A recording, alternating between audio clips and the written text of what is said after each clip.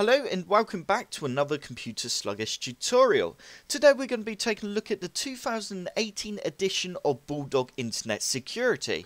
As you can see I've got on my screen right now and straight away as you can see they've got next gen anti-malware and they've got a game booster in their security now which is pretty cool. You also get a two month trial but if we just scroll down you can actually see the prices of this program. As you can see, just for the antivirus, it's £24.95p a year. And for the internet security, it's £49.95p. And if you want to go premium, then it's £69.95p.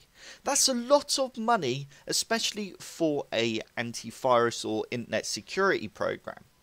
But let's take a look and see how good this program actually is. I'm going to go ahead and press free download. And we're now going to go save file. And we're just going to run the install. Like I said, you do get two months to try it out. So it's definitely worth giving it a go, seeing what you think of the program. You never know, you might actually like it.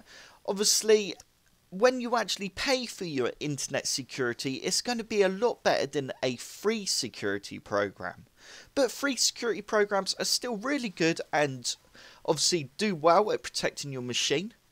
But let's just install this and see how good BullGuard actually is. Right, once you have successfully logged in, which I did actually find a little bit of a nightmare then because I already had an account.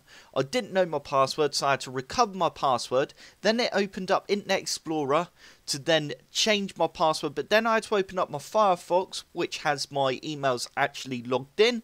Then I had to go in there, then I had to click on another link to actually go ahead and reset the password. It's quite long winded, you know, I didn't really enjoy that, but I'm not going to judge the program on that. Let's go ahead and press skip and let's just see what happens next. As you can see, it's now downloading the latest virus database. Finally, the program has now booted. And straight away, this is what the main screen looks like. I don't know if I can maximize it. Nope, that is the full max there. And that just kind of minimizes it a little bit. Doesn't really do too much. Overall, the GUI, it looks alright. It's pretty simple, it, but it does look okay, I suppose. Straight away, we can see we've got our antivirus real-time protection, which is on. We got our firewall there, which is on. And then also we've got vulnerabilities. We've got backup, which is pretty cool. So we can back up any files we want onto their server. If we just click onto actions there, we can click onto add to backup or manage profiles, restore online drive. If I go ahead and press online drive, let's see what that does. That actually boots up my computer and we got a little section here. That's pretty smart, I like that. It's almost like the OneDrive sort of theme going on there. Let's just minimize that now and take another look at what else we got. We got PC tune up and we got parental controls.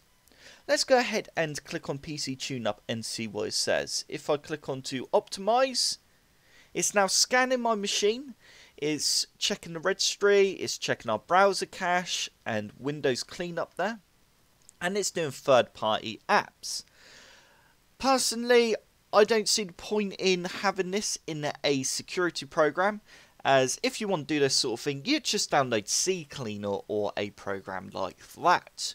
But it still has managed to find 2.5 gig of rubbish on the Windows cleanup, which is pretty good, and 2.1 gig on third party apps.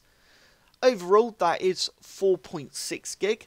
That is actually pretty good, as I have run, okay, up the top there it says 5.1 gig. That's really good since I have ran a lot of cleaning programs on my machine testing them, and that's actually found quite a lot. I'm impressed with that actually.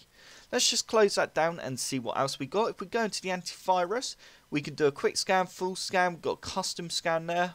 We can go into settings We've got a few settings here. We've got our details there. As you can see there, we've got my 60 day trial. If we go down, we've got our antivirus, which at the minute my security level is set to optimal. We could turn that up to maximum if we want. Let's just turn that back down again. We've got our firewall. We've got vulnerabilities, which there's no settings in there. It's just a simple on and off. We got our backup, which yet again is just an on and off and tune up. We've also got Game Booster automatically optimized full screen games. That's all well and good, but not everyone runs their games in full screen. I know a lot of people that like to play their games in windowed mode, which I don't know. Will it actually detect that? By the sounds of things, no, it won't. Let's go down again. We've got parental control. Obviously, I've got nothing in there, but we can manage accounts there that's all pretty cool, but overall, to be honest, what I can see is it's not really worth paying for this program, to be honest. You might as well just download Avast, which is free and it's superb. And there are also a lot of other free antivirus programs out there which do the same job as this unless BullGuard do massive updates before everyone else and keep the antivirus database up to date, then I don't really see the point in paying for this, to be honest. And that's my opinion. Please comment below and let me know what you think of BullGuard. Is it worth getting? Does anyone use it? If you do, I would love to hear what you think of the program. I hope this little video's helped. If it has, hit the like button below and subscribe for more computer sluggish tutorials.